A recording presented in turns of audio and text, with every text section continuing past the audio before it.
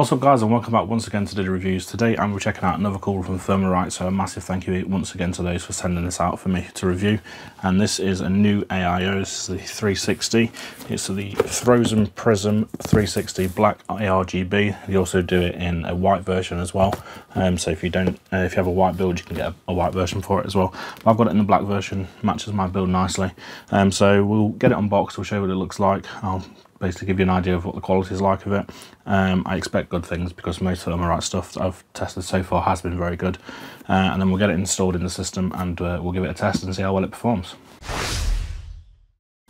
So as you can see, this is the Frozen Prism 360 Black ARGB. As the name states, it's a 360mm AIO, so three 120mm fans, uh, obviously three included ARGB fans with it, and there's ARGB on the pump block as well.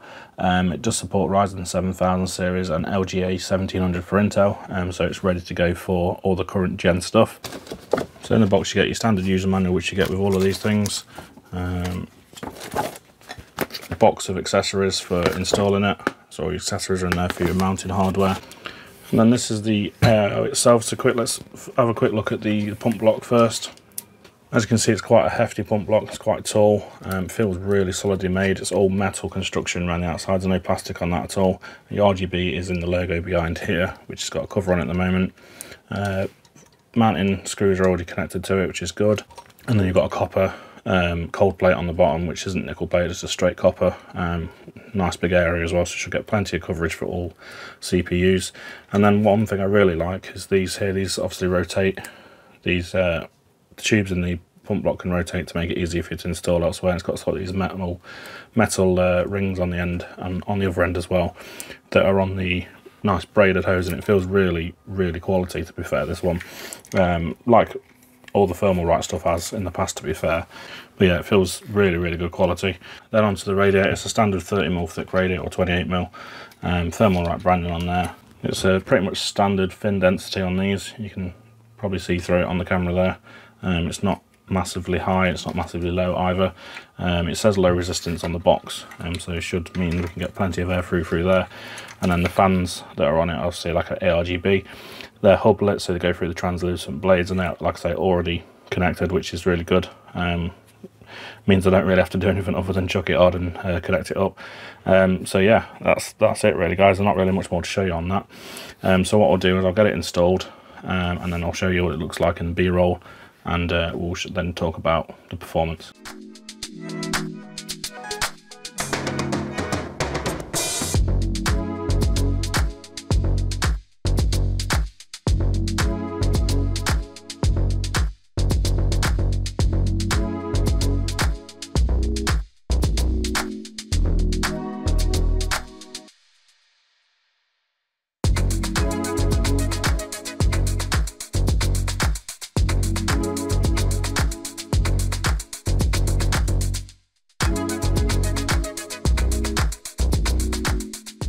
Well, there we go. There's the uh, Frozen Prism 360 Black ARGB by Thermalright installed and tested, and um, Thermalright have done it again. It looks absolutely incredible and performs really well too.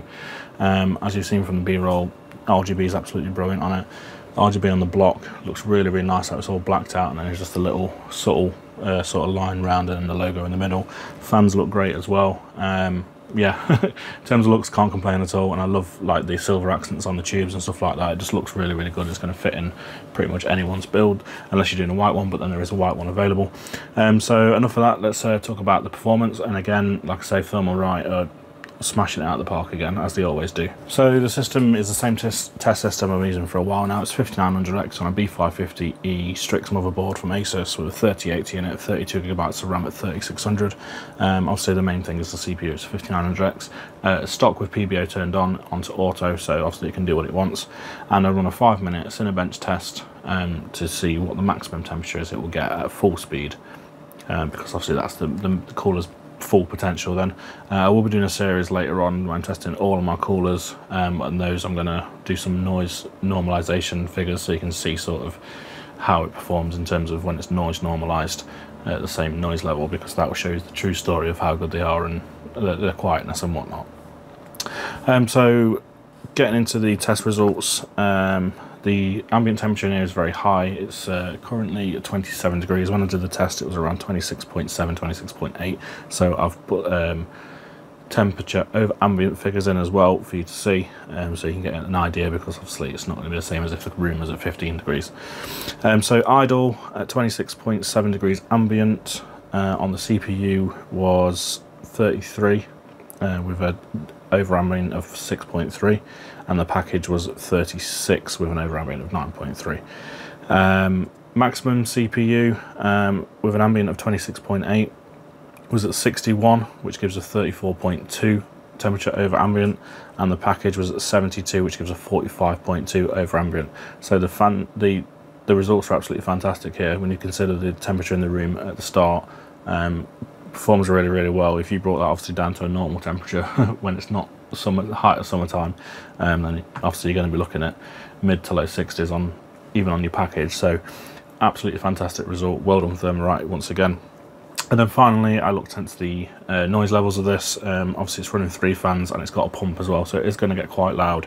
Um, and that's obviously where you've got to decide whether you want something that's going to be loud or something's going to cool really well or if you're looking for silence obviously you can run it slower um, but then you'll you'll lose performance. Um, so it depends what you want. Personally, I'm a get it as cool as possible. I don't care about the sound, and this obviously was with the side panels off anyway. Um, but if you want a more quiet system, like I say, you can run it uh, slower. Um, won't get as much performance, but still it should perform pretty well. Um, so in terms of the sound, 100% of fans and 100% of pump, pumps always ran at 100%. Um, so it was 20 I think 1850 RPM these these fans run at. However, for some reason this is recording 21,000. Don't know why. Uh, 2100, sorry.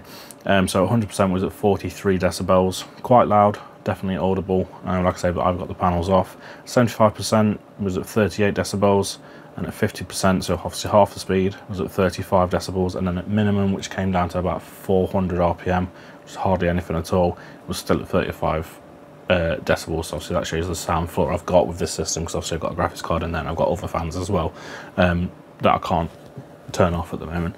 Um, so yeah, in terms of sound, it's not too bad. It, it has got three fans on it, so it is going to get loud, obviously. Uh, but 43 is not horrendous. Um, it is definitely audible though, so if it's something you're bothered about, then obviously turn it down or look at an air cooler or something like that, like a Noctua, things like that, because they are very, very quiet for the performance you get.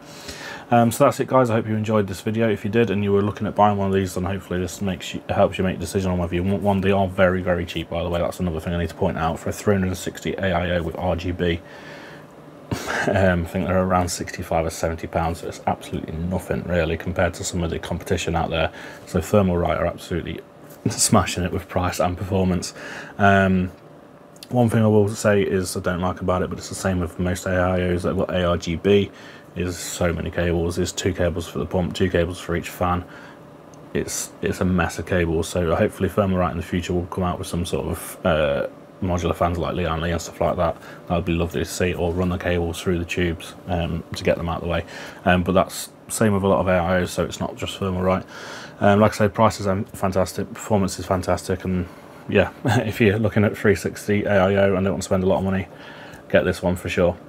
Uh, so thanks for watching guys, hope you enjoyed this, and uh, if you did, please give it a like, uh, don't forget to subscribe if you haven't already, and leave me any comments in the comment section below, and I'll get back to you. Thank you for watching, goodbye.